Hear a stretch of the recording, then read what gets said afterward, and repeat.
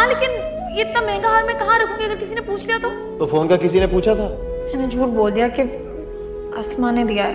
हाँ तो बस ठीक है ना। कहते ना कि ये भी आसमा ने दिया प्रॉब्लम सॉल्व जैसे दादी तो यकीन कर लेंगी ना कि आसमा मुझे डायमंड का हार गिफ्ट करती है। अरे वो क्यों नहीं मानेंगी और उन्हें क्या पता कि ये डायमंड का सेट है?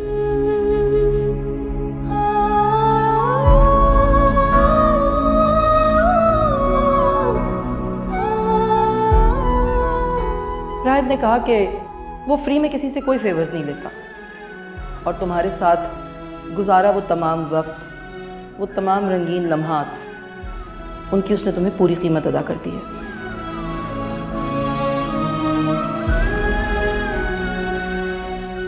और वो नेकलेस तुम्हारी कीमत था। इसीलिए मैं चाहती हूँ कि तुम वो नेकलेस वापस कर दो।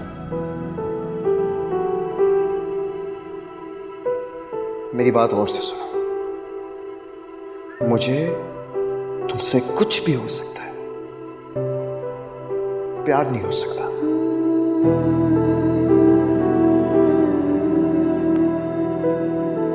तुम्हारे जैसे नापाक वजूद की लड़की अगर मेरे बेटे के बारे में ख्वाब देखे तो वो भी लालच है।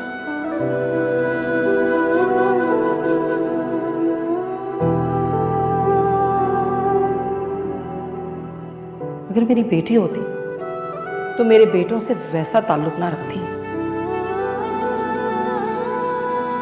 क्या तुम ये समझती हो कि तुम हमारी रिश्तेदार नहीं एक मुंशी की बेटी हो?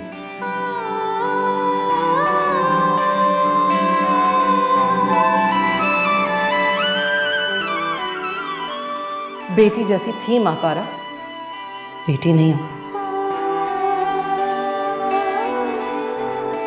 पूरी दुनिया ये समझती है माँ पारा। लेकिन तुम नहीं समझती।